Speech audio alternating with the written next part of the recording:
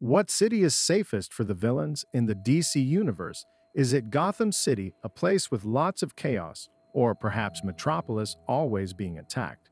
The answer might be surprising. The story begins at a villain's poker night. Some of the villains are discussing why they avoid cities like Gotham and Metropolis because they are too chaotic and have strong heroes.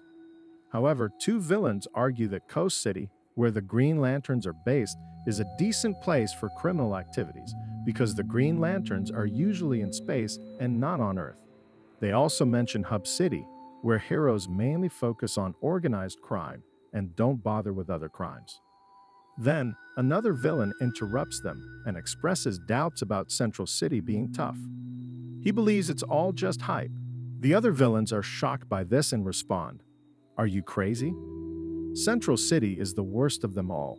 They proceed to explain why Central City is a challenging place for villains. One of the villains begins to explain why major villains like the Joker avoid messing with Central City. They recall an incident when the Joker thought the city would be an easy target. He had all his Joker henchmen prepared and was ready for a big performance.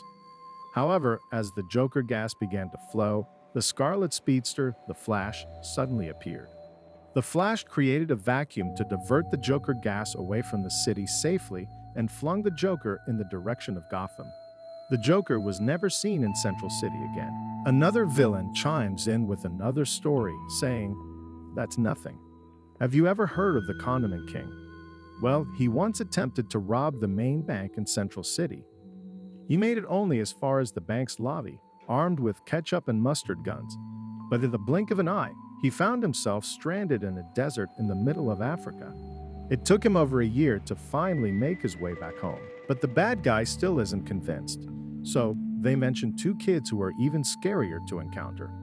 The boy has super strength like Superman because he once tossed a huge object into the water like skipping a stone. The girl named Thunderheart can hit you 90 times before you can even blink and likes to play pranks like giving people big wedgies just for fun. After discussing the scary kids, they talk about some other flashes and how tough they are. One of them starts a story about Mordru, the wizard from another planet.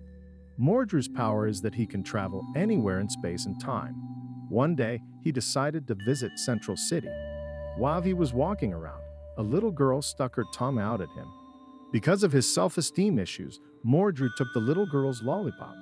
But this turned out to be a huge mistake because he did it in front of the Flash. The Flash just wagged his finger, indicating that Mordru shouldn't have done that. Afraid, Mordru jumped to another dimension to escape the Flash. But he wasn't safe because, somehow, the Flash kept finding him. Mordru tried jumping again and again, but each time, the Flash was right there.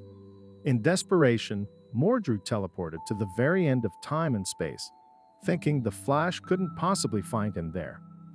However, to his astonishment, the Flash walked up behind him and extended his hand, demanding the lollipop. Just imagine being chased all across time and space for a lollipop. It was utterly unbelievable, and Mordru was never quite the same after that experience. The villain, despite hearing these incredible stories, believes that they're all just pulling his leg.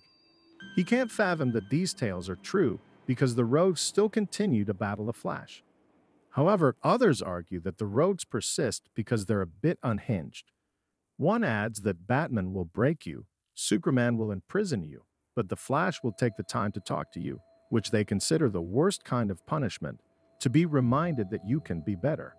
Still, the villain insists that they must be joking because all the money they've been playing with was stolen from the bank next to the Flash Museum. Hearing this, all the villains panic, rushing to collect their belongings. Then a knock is heard at the door, and all the villains become anxious, assuming it's the Flash.